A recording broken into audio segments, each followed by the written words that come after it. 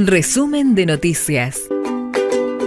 Hasta el 14 de octubre, La Termal lee. Segundo capítulo de la Feria del Libro Peñense, de 9.30 a 22 horas en Centro Cultural Municipal. Todos los días de feria habrá múltiples actividades, música en vivo, talleres, jornadas dedicadas a temas literarios, representaciones teatrales y multimediales, presentación de escritores chaqueños y de cuentos con el objetivo de producir alimentos sanos y abundantes, manteniendo o incrementando naturalmente la fertilidad de los suelos y generando el autosustento, se presentó la Huerta Urbana Agroecológica del barrio Santa Mónica. La misma se encuentra ubicada en calle 41 a 300 metros de Ruta 95.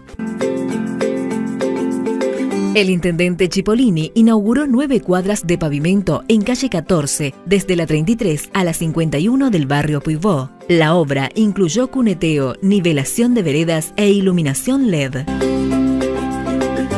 Para más información ingresa a www.saenspeña.gov.ar, sección Noticias. Secretaría de Información Pública, Municipalidad de Presidencia Roque Sáenz Peña.